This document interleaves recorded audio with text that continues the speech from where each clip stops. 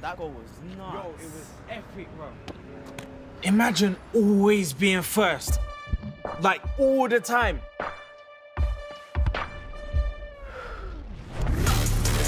You have to be fast. I mean, faster than fast. But that's not everything.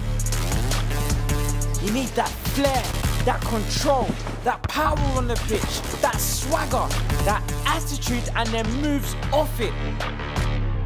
You'll be the first on the team sheet. First to fight, first to see everything. First to beat your man, first to assist, Hello. first to score your goal and do those next level celebrations.